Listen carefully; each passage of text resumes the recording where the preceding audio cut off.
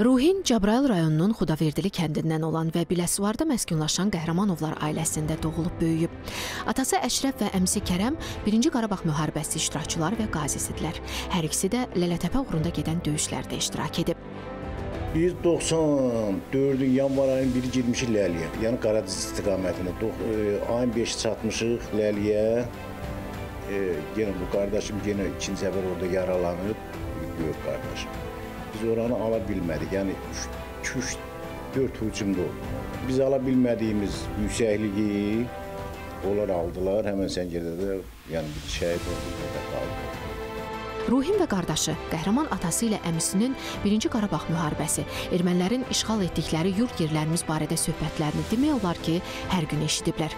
Vətən sevgisi, torpaqlarımızı azad etmək arzusu ilə böyüyüblər.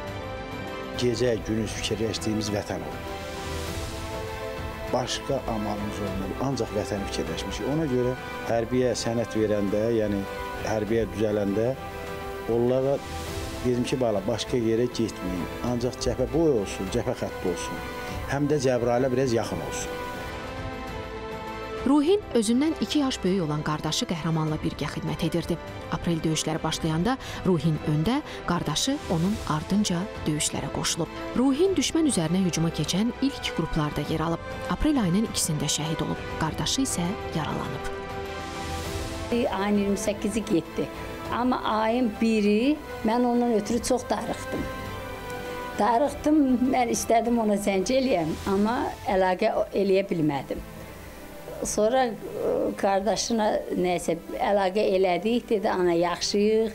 e, Bizdən nərən olmayın, haqqınızı halal eləyin, ola bilsin biz şəhid olarıq. Yaxınları deyir ki, Ruhin hər zaman mərdliyi ilə seçilib. Torpaqlarımız uğrunda da şərəflə döyüşüb, öz borcunu layiqincə yerinə yetirib və şəhidlik məramına yüksəlib.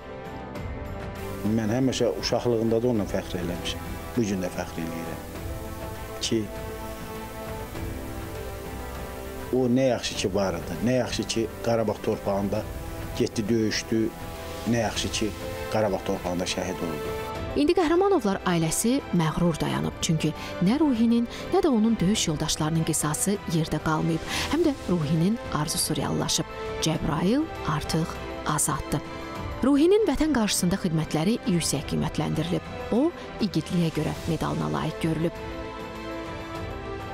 Elnur Ələkbərov, Fərid Fəyazoğlu, Alə Məmmədova, ASTV xəbər.